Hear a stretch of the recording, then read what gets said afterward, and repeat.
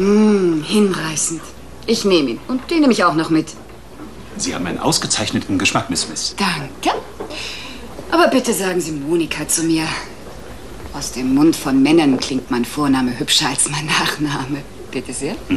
Packen Sie den ein, den hier behalte ich gleich an.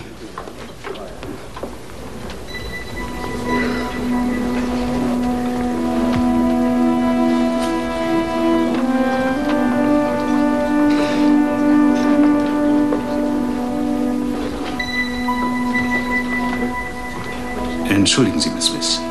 Aber wer ist Jordan Roberts? Das ist unwichtig. Sie haben mir Ihre Kreditkarte gegeben.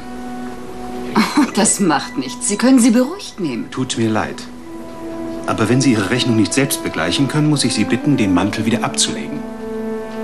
Ach, wirklich? Wie bedauerlich für Sie.